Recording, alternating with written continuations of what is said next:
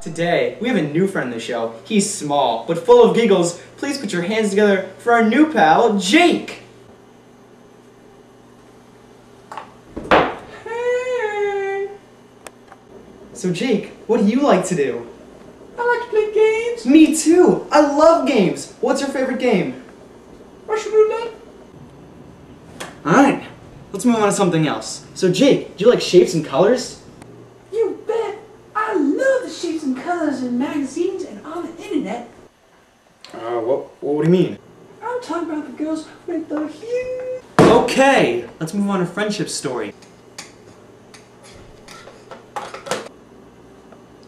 Okay, let's read Mr. Davies and the Baby.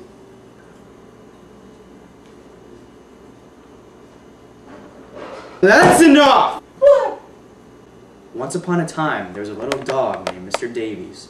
All day long, he stayed in his yard. He sniffed the smells and dug holes in the flower beds.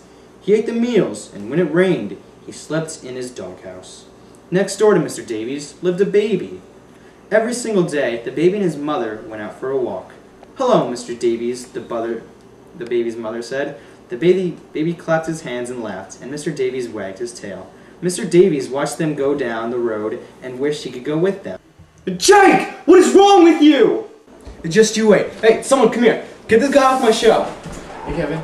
Hey, boys and girls. Just shut up, just shut up. Look, look, get this guy off my show. He's rooting for everyone.